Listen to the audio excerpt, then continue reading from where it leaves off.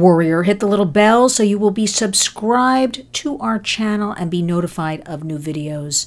Also, you can become a member now of Lynn's Warriors. Find that, become a member, and let's talk about what is happening. I've been holding back and holding back, but now I'm exploding. First of all, uh, forgive me. I see my hair is blowing like the 80s music videos that we used to watch. But uh, it's a little hot in this room, so I'm going to let that go. I have to talk about Taylor Swift. Cat got your tongue? Cat got your tongue. Now, let me explain what I mean. Every day I am inundated, as you are, with something about Taylor Swift. Some cutesy little um, dancing in the in the box with the boyfriend playing football. Here she is at a nightclub. Here she is going to a restaurant. Here she is there. Here she is. That's all well, good, and fine. I usually don't even talk about things like this. However, I woke up today and said to myself, wow, she can talk about endorsing presidential candidates. And this, now this is going to be tough to believe, but this is not even about politics because, frankly, everybody should do what they want, be able to say what they want, as long as you don't harm each other and children. If she took her platform as a 34 year old with hundreds of millions, all of her different plat- platforms combined. And we know certainly there are accounts that are, you know, bots and things like that that her camp puts out there. Remember, I come from an entertainment media background. I know how the game works. Can you imagine if she took her platform and instead of endorsing presidential candidates, which you know you can never win, some will love it, some will hate it. Why is she doing that? Why is she doing that? But you know what? If she endorsed keeping girls and women and kids safe. If she talked about sexual exploitation or digital safety or what's going on in the schools and used those hundreds of millions, can you imagine? She would be the toast of the town.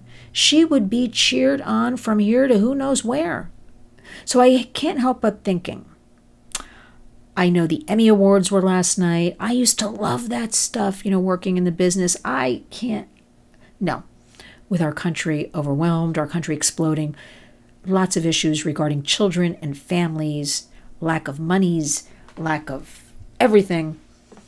No, I don't want to see people in bad dresses and bad suits uh, buying awards, frankly. Can you imagine, though? and I don't like people I make political statements, you know, these entertainment types. Go go act. Go dance. Go do whatever you do. That's fine. However, when you are somebody like a Taylor Swift, they are few and far between, and she's a young woman. I really think she has a duty to step up to other young women and the girls that look up to her and go to her concerts. And we know families that flew across the country to other places because it was cheaper to stay in hotels and fly places than get tickets for here in New York City. Can you imagine what what what a heroine, what a what a she would be? Why wouldn't she do this? We live in a digital world. It's not changing. We don't want it to go away, but we want everybody to be aware. We want everybody to be safe. But instead, we've got, you know, Taylor Swift holding cats and, and endorsing candidates and not good. Not not good. Not good, Taylor. I'm here to say that. I want everybody, here is your take action. This week, very important. September uh, 17th, we have going to the House, the Kids Online Safety Act, KOSA. Passed the Senate in July, 91 to 3, bipartisan. I don't know who those three are, those wacky three, but 91 is pretty good. It's over now, sitting with the uh, House. Now it will be voted on. I need you right now. Go to house.gov, find out who represents you. Send them. I want KOSA, Kids Online Safety Act, passed. We need it. Not invading anybody's privacy. First piece of legislation in 26 years. Simply saying, big tech, platforms, you have a duty of care. You have people and children on your platform. If you see bad material, bad postings, bad language, nude images, you take it down and don't leave it up to the kids and the parents and the grandparents and everybody who's overwhelmed. And I think with all the money they're making, they can certainly do something, hire more people to be on the lookout for this bad material.